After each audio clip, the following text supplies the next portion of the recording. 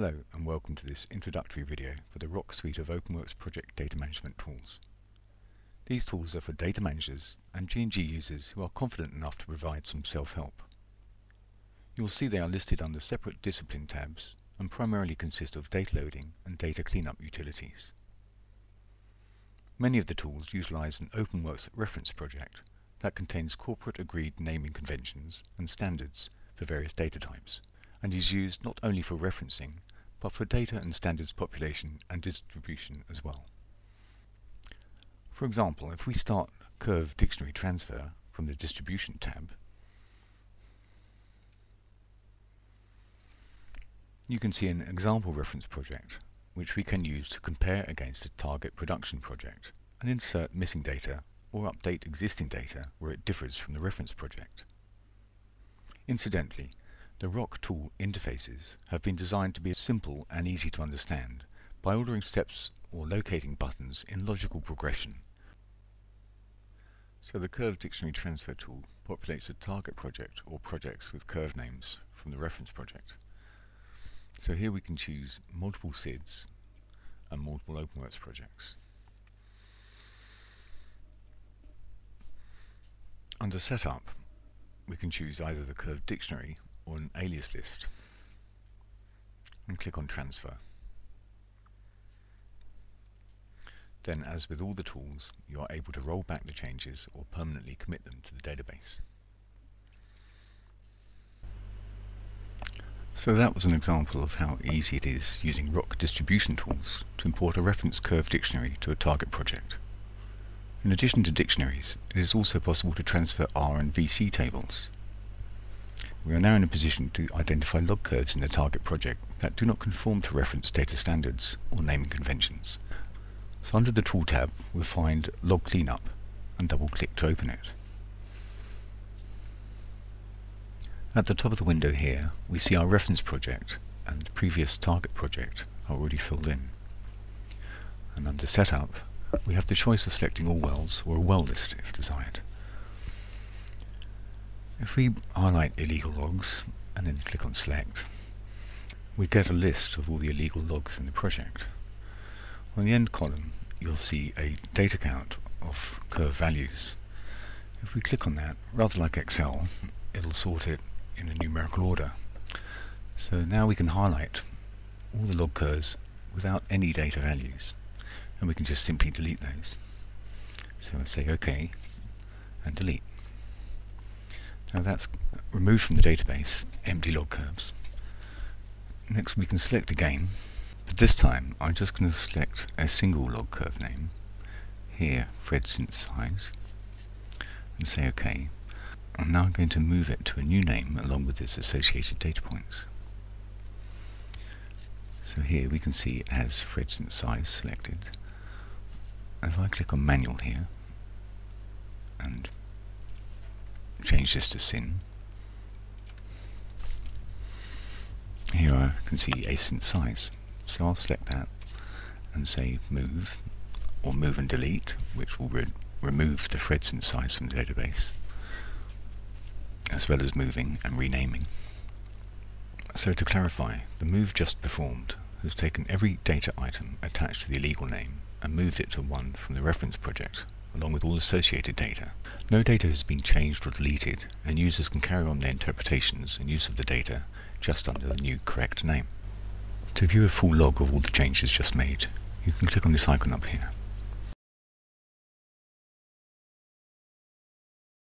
Now let's look at a similar tool, Stratigraphic Cleanup.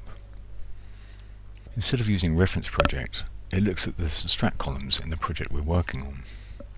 Here we're able to select a SID, or SIDs if we had more than one, and an OpenWorks project that we want to work on.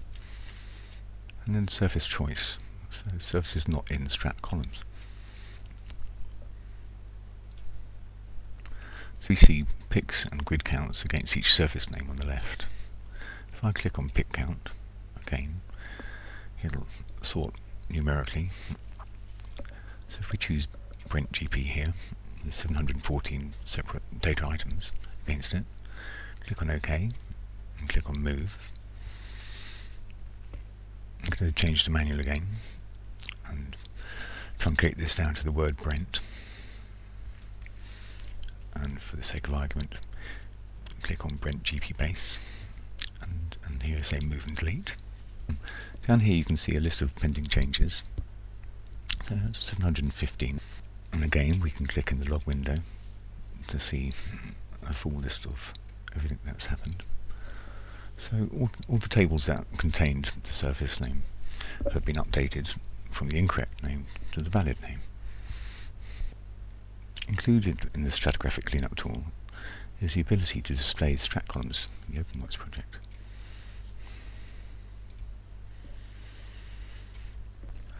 Now we have our surfaces correctly named.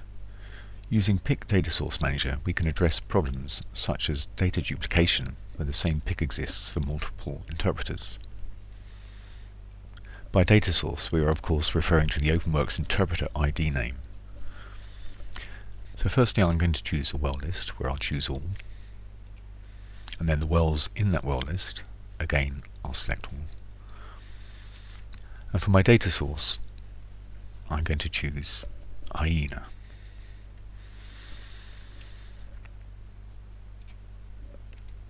So we have three options. One to show matches with the official, and what this will show is duplications in the surfaces owned by Hyena, where we will probably just want to delete them.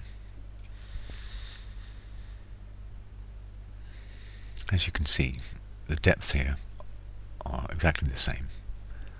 So in this case, we'll just select all, and we have the choice of delete selected owned by Hyena, or delete selected owned by Offic. Obviously, we'd delete the ones owned by Hyena. Secondly, we can show non-matches. So these will be surfaces owned by Hyena or not existing for Offic. And here we would make a decision whether to change the owner to Offic from Hyena. And thirdly, we have the choice to show all matches. And this will show us the same surface IDs, surface names, owned by multiple data sources. And this usually requires a team effort to decide which surfaces to keep and which surfaces to remove. More than often, this tool is being run by data management, and an asset team involvement is required for decision making. So data can be exported with a choice of output. I'm going to choose Excel and just view it rather than save it. So here you can see what we've seen on the screen, and obviously this can be printed and then used for decision making by the data manager. Until now we've cleaned up our PIC data sources. Now we've made some improvements to the data in our OpenWorks projects, we can check the overall quality of data by running the Audit Report tool. This tool is found under the Report tab and has the ability to fix many of the errors it finds. Once the tool starts, click the Generate Report button on the left and eventually you'll be presented by color-coded statistics, red for critical errors, blue for non-critical and green for error-free. These figures for data quality and data completeness are what we want to improve upon. You see here in this OpenWorks project we have wells missing CRSs with a count of 14, wells with null surface locations, again 14, wells with null depth datums, count of 48 there. If we scroll down to faults with zero segments, we can click on Show Results and we can launch the RoQC tool to fix this problem. So this is Seismic Fault Manager. What we can do here is make sure we click on Show Only Faults with Zero Segments, simply select all and delete. Now I have the ability to either commit that to the database or roll it back. And as this is a training database, I'll roll it back. But you see how easy it is to fix many of the problems in your OpenWorks database. We can now have a look at log curves missing units of measure. We can launch update curve units and click on run. And here it's updating all the curves that are missing units of measurement and it's updating with values from the reference project. Again I can roll back or commit. In this case I'll roll back again and exit. Now let's look at duplicate logs. Click on the Show Results button, bring up the duplicate logs window, and launch the Project Compare tool. So we're going to select our SID, and we're going to select an OpenWorks project, and we're going to make sure we have duplicates mode switched on. I'm going to select a well list, I'll select all, and say OK, and then select the wells in that well list. Again, I'm going to select all and say OK. And then I'm going to press calculate. So now I can say keep last and delete selected. This is a very easy way of dealing with a considerable amount of data that would take a very long time if you were to do it manually. And there you have it. 4,560 rows deleted. And it's as simple as that. So again, I'm going to roll back on that. And click OK and exit the tool. So once you've been running Audit Report Tool consistently over a, length of time, you might like to generate a summary report, which can either be in a graphical format or in text. So here we have all the audit reports that have been run against all of our OpenWorks projects on different dates. If I select all of them, and then here select multiple projects and show latest, it'll show all the latest reports that have been run. And then here I can generate a summary. But before I do that, under data setup, I'm just going to choose which items I'd like to see graphically and included in the report. Some wells, and here you are in linear scale, a graphic representation of the items that I chose under data setup. If I click on logarithmic, I'll get a slightly better view. And here is the data summary in text. Okay, let's close this now. This next tool is fantastic as it provides a solution to a problem that is common to every OpenWorks installation, the problem of data owned by a legacy interpreter ID, also referred to as a data source. This problem exists when team members finish working in a particular project, leaving behind all the data they created, and problematically still owned by them as far as the database is concerned. So this tool is called Data by Data Source. It reads the target OpenWorks project, finding every data item owned by every interpreter ID. This tool then allows us to choose a legacy data source and reallocate the data to a team member who is currently still working in the OpenWorks project. When we highlight an interpreter ID, data belonging to the data source appears on the right. We can click on an item, for example pick data, and choose the target ID to transfer ownership to. We also have the functionality to drill down on a data type by double-clicking on it. If I double-click on PICs, I'm presented with all the wells that PIC exists on for the interpreter ID. I can choose individual wells if I like and allocate them to different target data sources. We can also double-click on these PICs and drill down further to see each individual PIC data, which we can also reallocate. If we choose, we have the possibility to simply delete data items per ID if required. For a quick win, we can select all the data sources not in use and remove them from the database.